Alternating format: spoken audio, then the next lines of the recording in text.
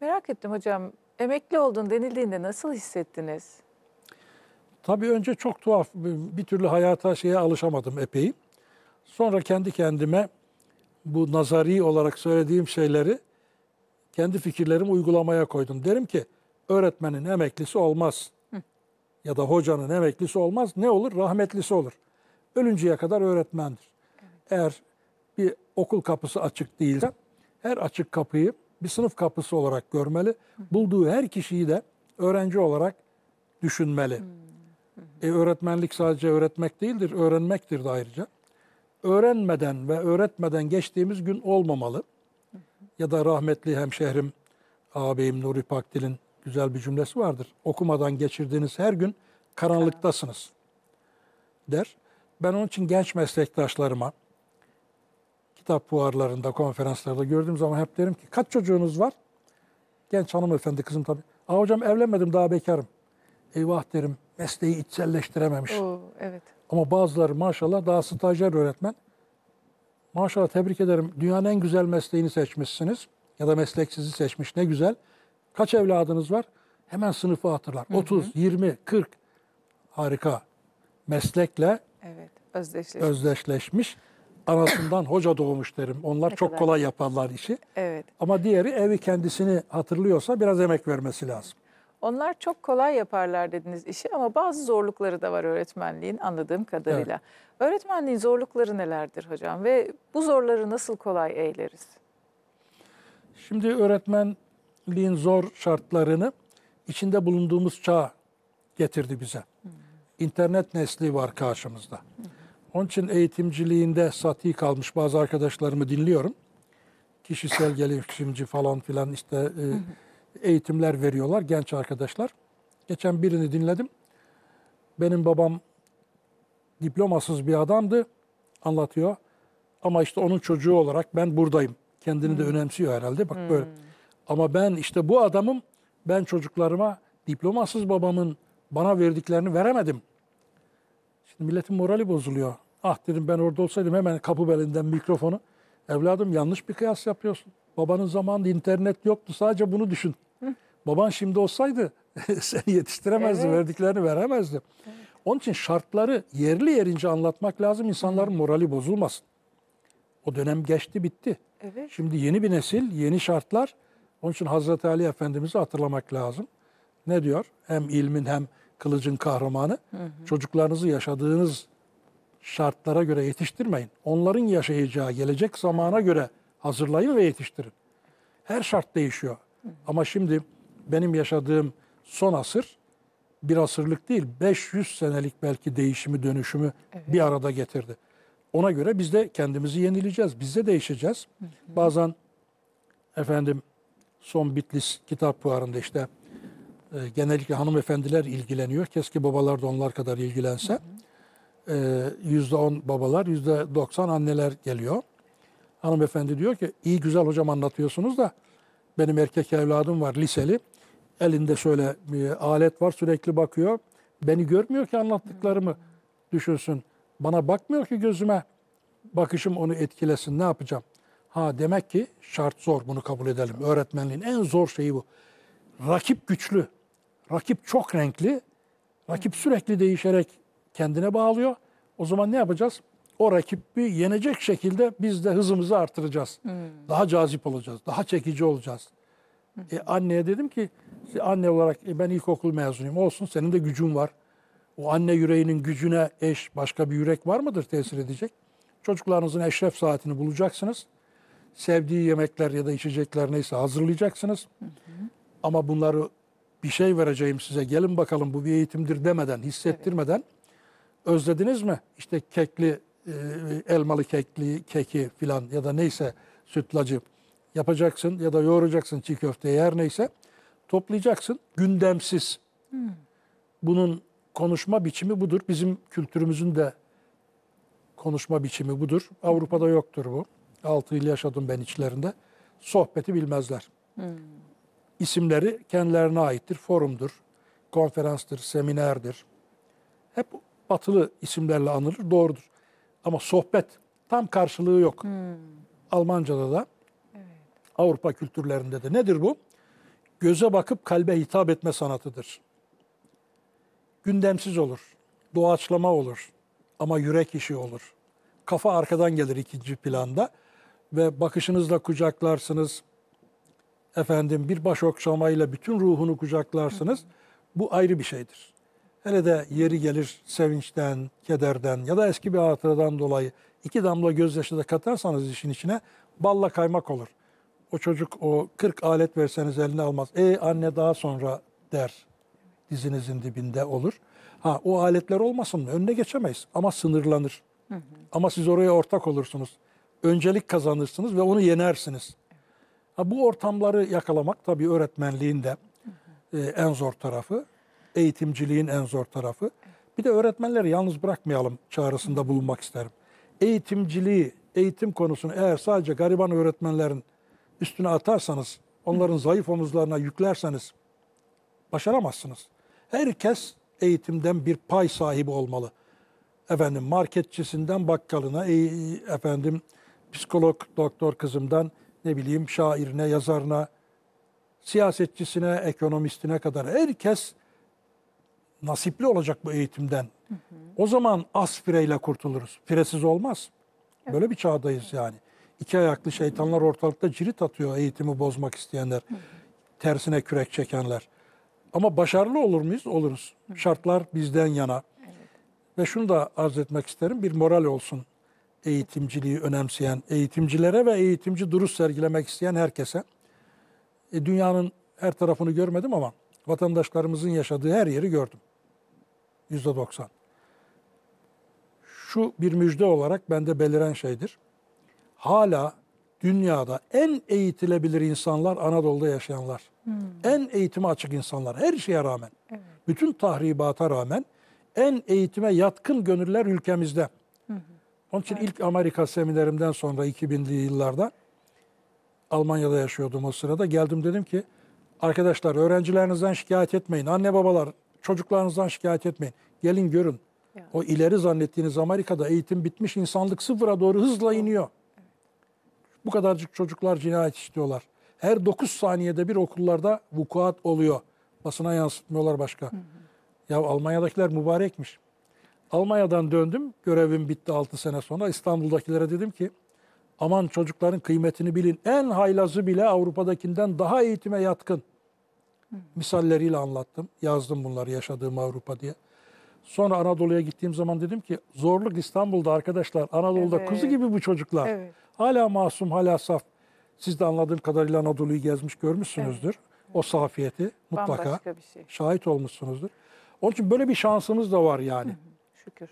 Görece olarak büyük bir nasip bu. Ama eğitimcilerin bu işi el ucuyla değil, gönül ucuyla, gönülün ucuyla değil, tam ortasıyla tutması lazım. Eyvallah.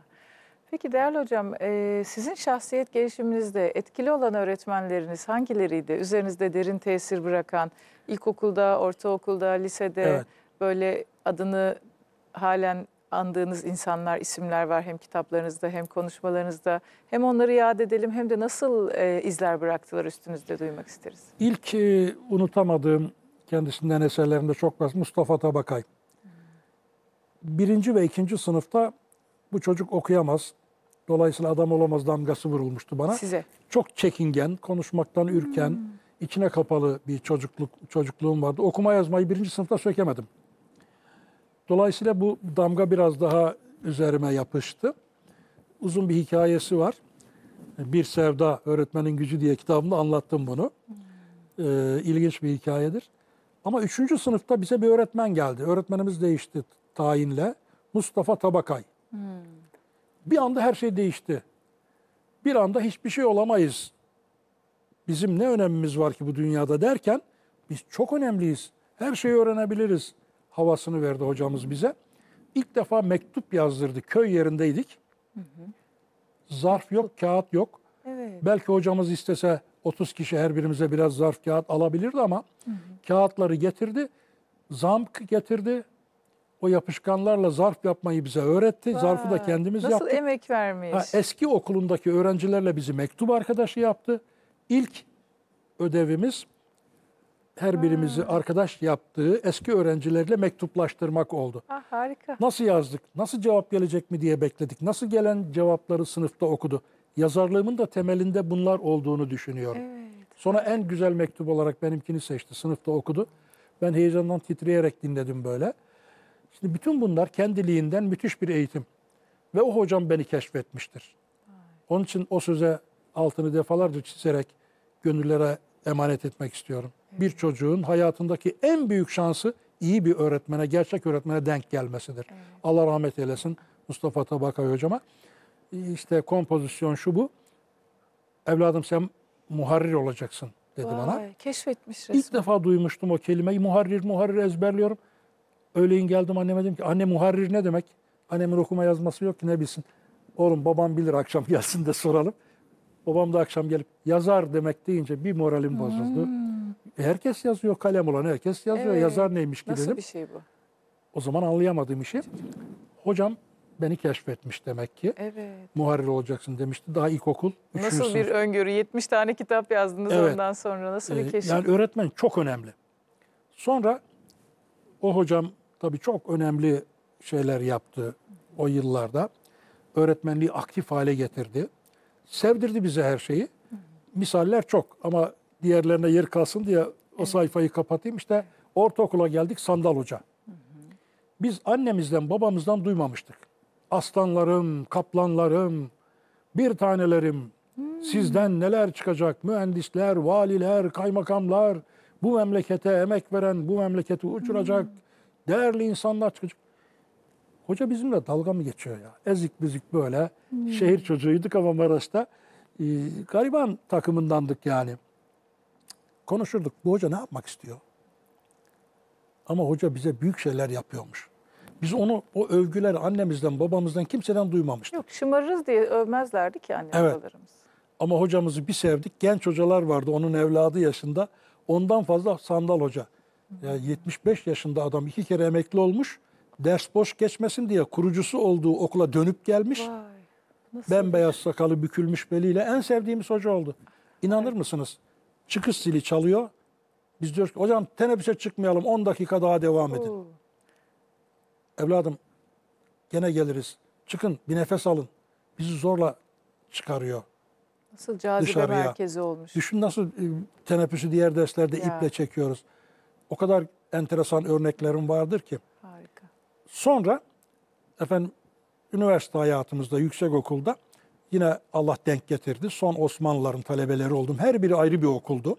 Gerçek hocalar mesela en çok sevdiğimizle sevdiklerimden biri Mehmet Akif'in de talebesi olan, önce talebesi sonra mektuplaşacağı kadar yakın dost olan Mahiris hocamız tasavvuf Evet. dersimize geldi. Onun için ben hocam niye bu kadar Mehmet Akif kitap konferans diyorlar. Akif Dede diye gençlere yazdım bir kitap şükürler olsun reklamsız tanıtımsız bayağı sevildi okunuyor. Diyorum ki ben torunu sayılırım. Aa nasıl yani?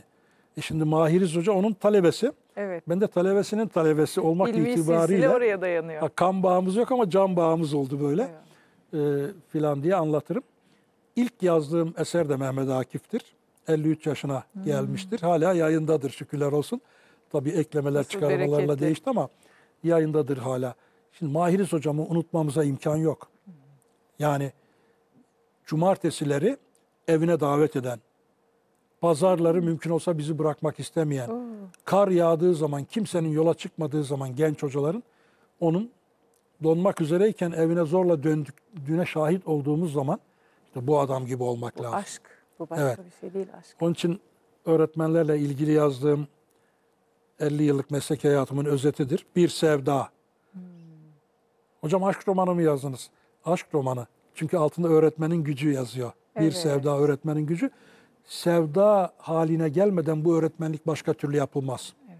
Yani şimdi Mahiris hocamızı o yaşlı haliyle, o kilolu haliyle koltuklarına girer, kürsüye çıkardı arkadaşlar. Evet.